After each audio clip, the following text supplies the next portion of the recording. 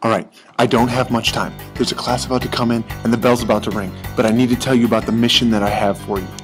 Your mission, should you choose to accept it, and you do choose to accept it, is to make a test problem using the information that I have given you.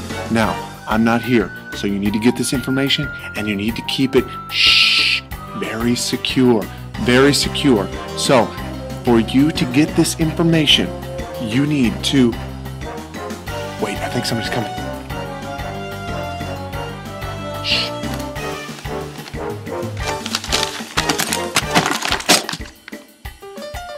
All right, we're safe. We're safe, but we don't have much time.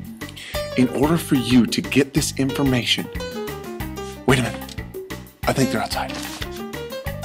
Wait a minute. Wait a minute. Shh. Shh. I thought it was Mr. Banger. Shh. Okay.